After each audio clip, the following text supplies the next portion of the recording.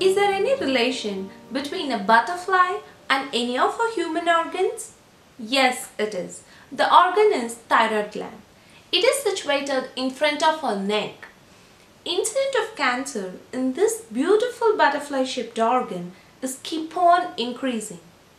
According to recent statistics by Canadian Cancer Society in 2019, 80 to 100 patients were expected to have thyroid cancer, out of which 25% are men and 75% are women.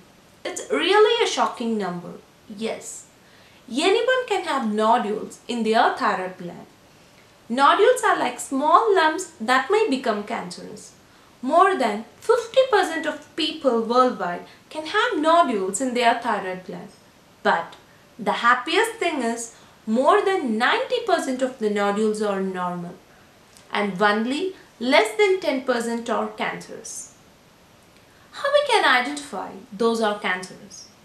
There comes one of the best imaging techniques in medicine, the ultrasound. Once a radiologist, the person who examines the ultrasound, finds any nodule that are suspicious to cancer, it is sent for biopsy for further diagnosis. Even though ultrasound is cost effective, portable and radiation free, it is really hard and challenging for the radiologist to interpret accurate information from them because it contains noise. Sometimes misdiagnosis also happens.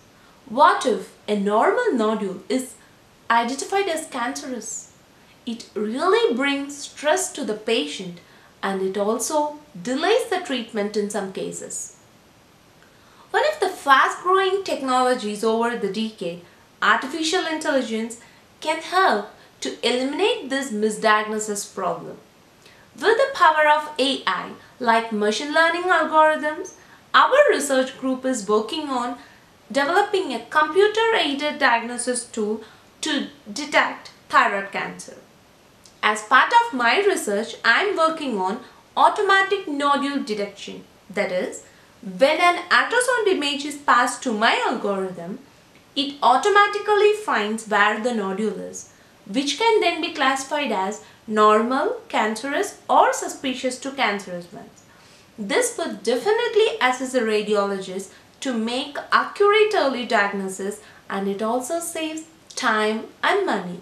And most important thing, it reduces stress on the patients. Let our butterfly glands fly freely with the hope to reduce thyroid cancer using artificial intelligence.